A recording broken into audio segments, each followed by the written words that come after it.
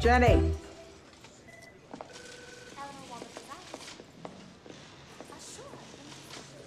I am so sorry about today with Robert. I know you wanted to be at that meeting. It's okay.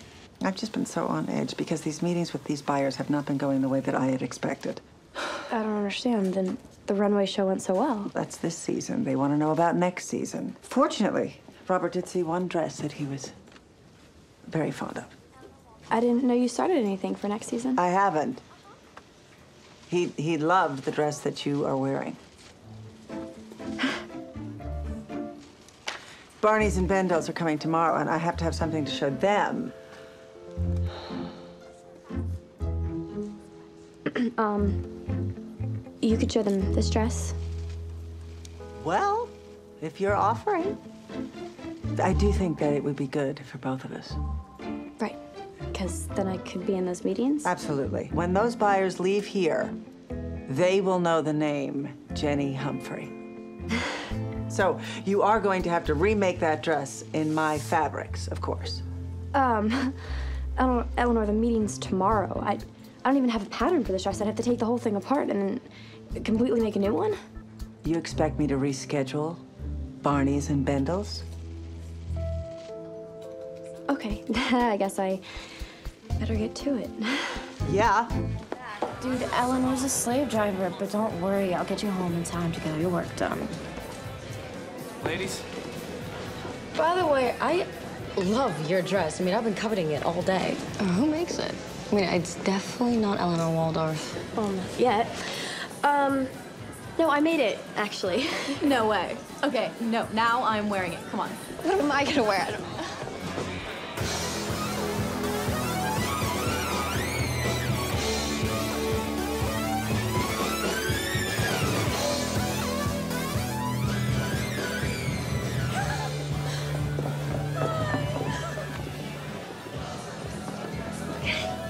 Hi, Jenny, this is Max. Max, Jenny. Hi. Hey, what's happening?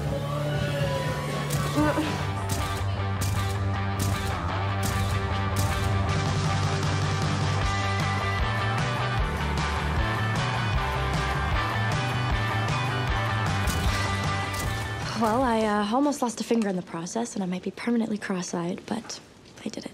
Thank you. You look like hell. You should go home.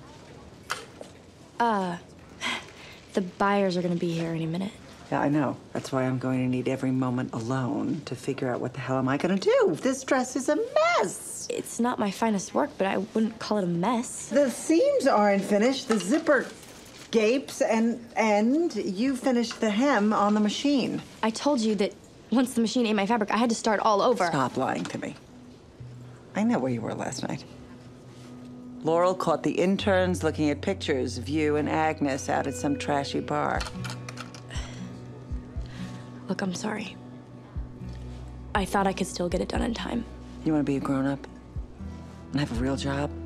You have to accept real responsibility and the consequences for your actions when you don't come through. I should have known better than to give so much responsibility to a child. A, a child. I'm sorry, but this child seems to be the only one that can design anything that the buyers are remotely interested in.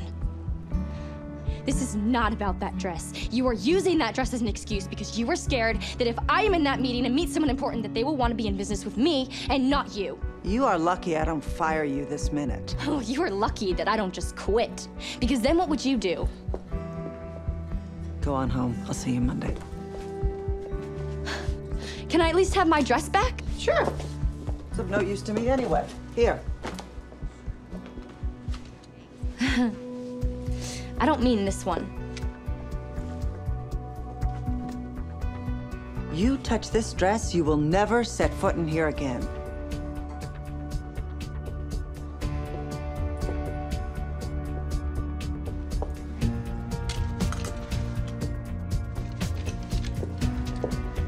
Sometimes, the most important thing to know is when to get out.